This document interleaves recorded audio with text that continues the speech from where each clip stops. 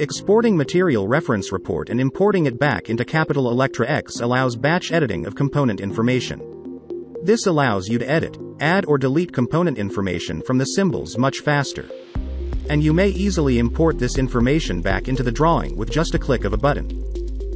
To do this, click on the menu Export Reports, Material Reference Report and click OK.